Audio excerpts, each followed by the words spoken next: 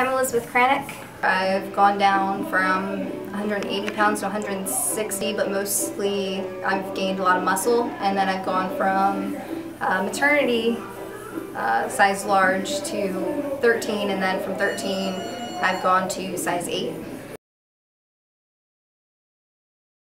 I've done it twice so far. Uh, the first time I did it, that was when I had the drastic from 13 to 10 in a week, the size, pant size. Um, my attitude completely changed. Uh, my skin cleared up. Um, I, I definitely seemed like I toned up a little bit, and everybody just kept telling me, "Oh, you look so healthy. What are you doing? What's going on?"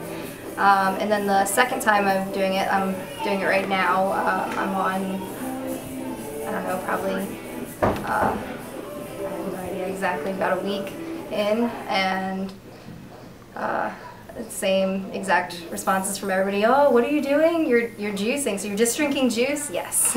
and uh, water, eating some nuts and seeds occasionally. Um, and I have felt, noticed uh, my uniforms are fitting better, my pants are fitting a lot better, um, my attitude's improving. Holiday and uh, it was over the holiday and I've definitely lost weight over the holiday season too, which is surprising.